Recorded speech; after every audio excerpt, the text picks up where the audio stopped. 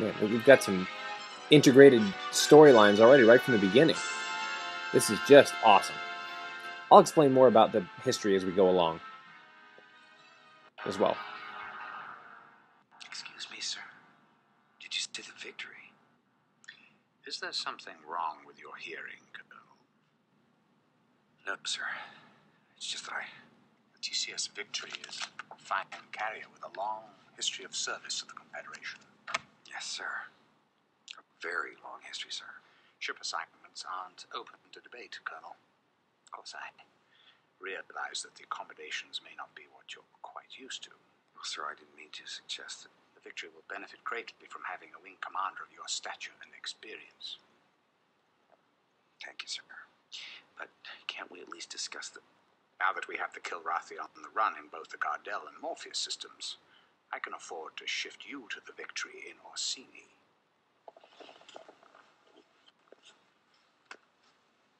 What I'm trying to tell you, Colonel, is that things are looking up.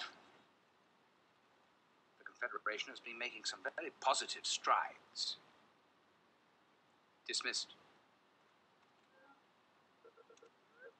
Sir, about my request. Yes. It came as a bit of a surprise to me. As you know, Colonel Devereaux's status is on a need to know basis. Your shuttle is waiting. Yes, sir.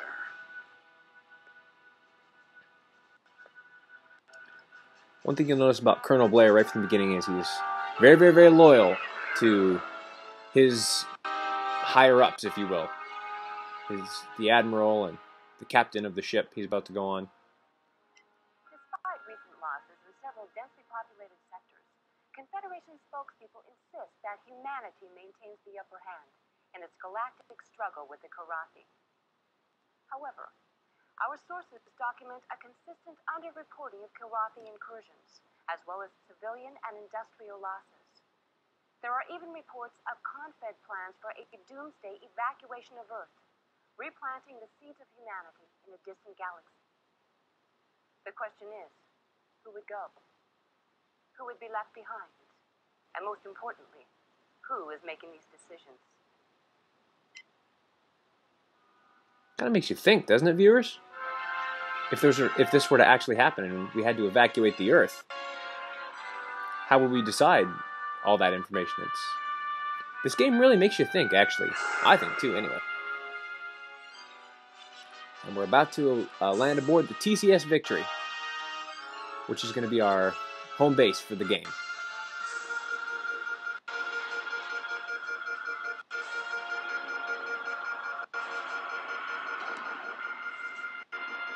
And here we are landing.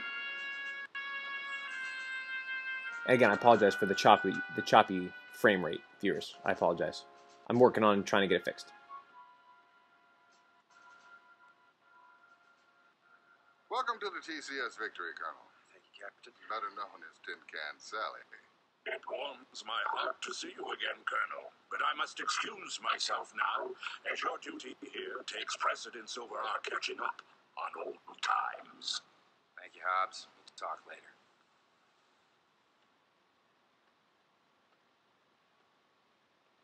Yes, I know what you're thinking. She's no Concordia.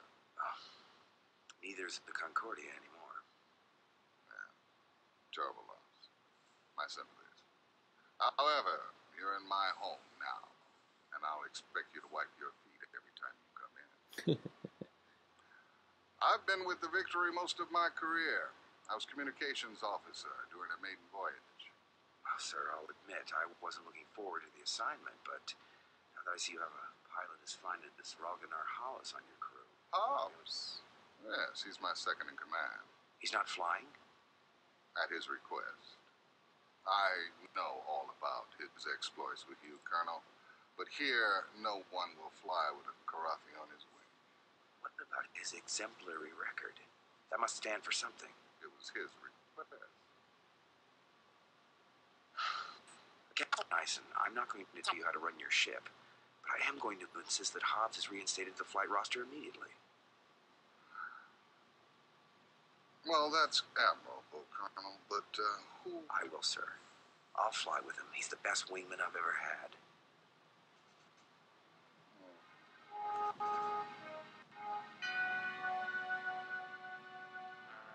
Hmm. So we have a Kilrathi person on our team. That's kind of interesting. Okay, well that wraps up the introduction to this game. Uh, one other thing, I'll just give you a brief background history of the game, and then we'll call it a day.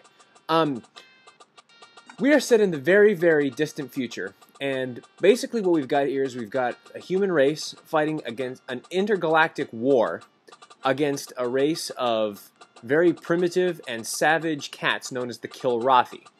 And we're to learn and we've been battling them for the first two wing commander games and i'll talk more about the history as we go along throughout the game. But know that i'm very excited about this let's play series. I hope it's going to work out.